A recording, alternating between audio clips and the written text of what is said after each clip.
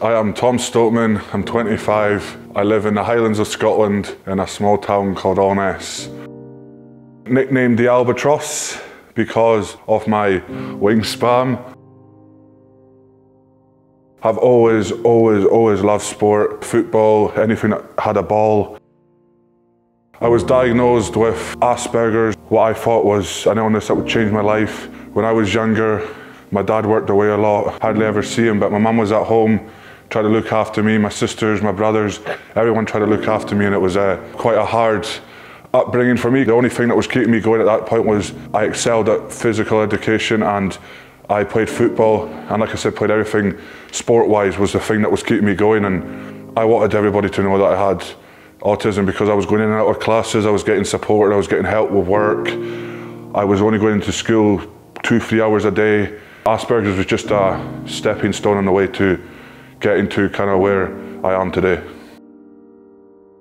2013 I went down to watch Luke do Scotland's Strongest Man in his first year of competing and his first year doing Scotland's Strongest Man and that's when I seen these guys lift cars, lift logs, lift things I didn't even know was possible to lift. And seeing Luke win that gave me a buzz saying like if he can do it then I don't see why I couldn't do something like this. Having Luke as a kind of role model to look up to and help me through the first few years was incredible and getting to the World Strongest Man finals with Luke and being crowned as officially the world's strongest brothers. Going to Woos and myself and Luke being in the top three at the first kind of international comp, which is special and kind of that's when we I think put our names on the map and made a staple in the game of strongman. It felt like I had won world strongest man on that stage and that was an incredible feeling and it's just memories like that that makes this sport special. So my aspirations in life is trying to, to help people with kind of the same difficulties I had growing up and to help maybe parents who don't understand as much about autism and special uh, additional needs uh, as they would like. You know, I mean, I had the most supportive mum in the world, supportive dad, family, and everyone was there for me. And, and I want to kind of give that back. I've got Asperger's and I'm one of the strongest men in the world.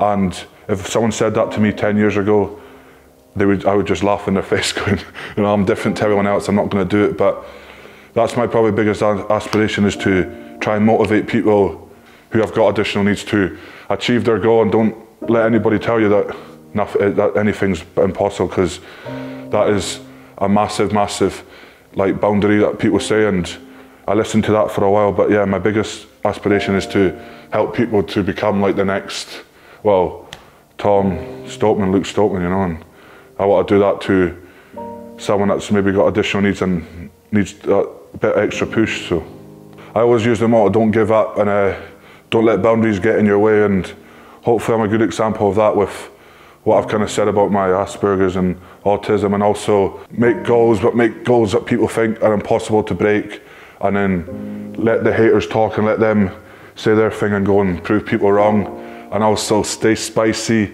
stay safe and smile. That is the most important three.